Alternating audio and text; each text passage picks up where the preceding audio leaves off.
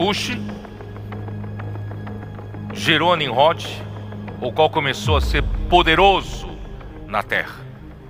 Foi valente caçador diante do Senhor, daí dizer-se como Nimrod, poderoso caçador diante do Senhor. O princípio do seu reino foi Babel, Ereque, Acade e Cauné, na terra de Sinar. E daquela terra saiu ele para a Síria e edificou Nínive, Reobote Ir e Calá. E entre Nínive e Calá, a grande cidade de Rezem. Nimrod existiu depois do dilúvio aproximadamente um pouco mais de 100 anos. Não era muito tempo depois do dilúvio. A civilização pós-dilúvio era uma civilização com medo de Deus. Porque acabou de acontecer uma tragédia, o dilúvio. Todos morreram. Todos tinham medo de fazer qualquer coisa que desagradasse a Deus e fosse castigado. E Nimrod aproveitou-se desse ambiente, desse momento, para dizer que o homem não precisa viver com medo de Deus, não precisa viver com temor de Deus. O homem não precisa de Deus. O homem tem que aprender a viver sem Deus. Então ele incitou a primeira rebelião contra Deus. Ele criou o governo humano como uma declaração de independência a Deus, como uma declaração de desconexão com Deus. O homem não precisa de Deus para viver. O nome Nimrod deriva de um verbo hebraico que significa rebelar ele rebelou e incitou o mundo a se rebelar contra a soberania de Deus. E Nimrod era filho de Cush, neto de Cã e bisneto de Noé. Construiu o império a partir de Babel, na Babilônia, e depois foi para Nínive. Construiu um império também na Assíria. A Babilônia e a Síria foram dois impérios que lutaram contra o povo de Deus. Cativeiro babilônico, o reino de Judá, cativeiro da Síria, reino de Israel. Vocês conhecem essa história? E a Babilônia existe em toda a Bíblia.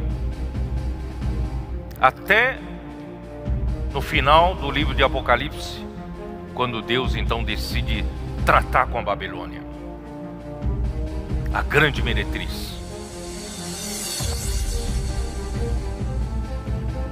Vocês estão percebendo? É uma luta de reinos. Aí vocês vão entender Salmos 2. Porque se enfurecem os gentios e os povos imaginam coisas vãs? Os reis da terra se levantam e os príncipes conspiram contra o Senhor e contra o seu ungido, dizendo que rompamos os seus laços. Nós não queremos nenhum laço que nos ligue a Deus. E sacudamos de nós as suas algemas não queremos mais ser escravos de Deus. O homem precisa declarar independência a Deus. Não dependemos de Deus, não precisamos de Deus, e assim foi criado o governo humano. Por Nimrod. Ninguém, de nenhum modo, vos engane, porque a vinda do Senhor Jesus não acontecerá sem que primeiro venha a apostasia e seja revelado o homem da iniquidade o homem da perdição. Irmãos, quando chegar no final dos tempos, e eu acredito que não estamos longe, vai, vai surgir o homem da iniquidade, o homem da perdição, que será o anticristo. E é com ele que virá a grande tribulação. E sabe qual é o papel dele? Versículo 4. O qual se opõe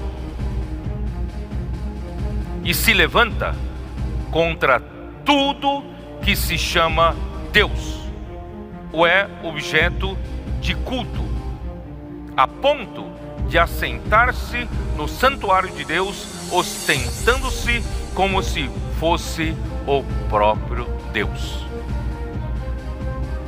Satanás incitou Nimrod a incitar a rebelião da humanidade contra Deus. Para romper os laços com Deus, qualquer vínculo com Deus, qualquer ligação com Deus, o homem não precisa mais viver, segundo a pregação de Nimrod, escravizados por Deus. Vamos nos libertar de Deus. E assim começou o governo humano em Babel, estabeleceu um império na Babilônia, ele também estabeleceu seu império na Síria. Queridos irmãos, que tristeza para Deus. A partir desse momento, todas as nações aqui na terra, que foi criada por Deus, a terra foi criada por Deus, só havia nações pagãs. Por que, que eu fiz questão de mencionar Gênesis 6? Porque o homem tinha lembrança de que em Gênesis 6 havia a história dos anjos caídos, das forças angelicais que têm poderes superiores aos dos homens.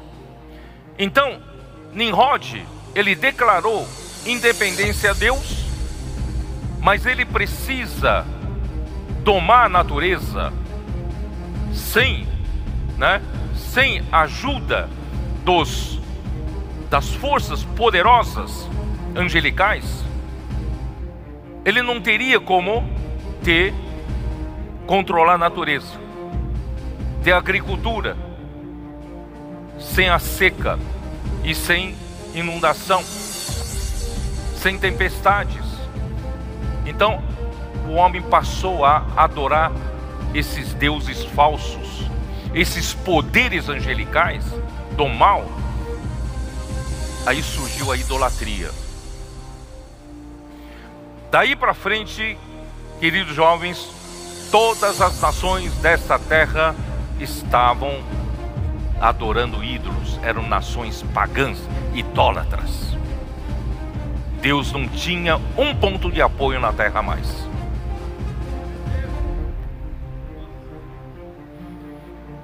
Por isso que logo depois disso, Deus chamou Abraão. Deus precisava restaurar essa terra.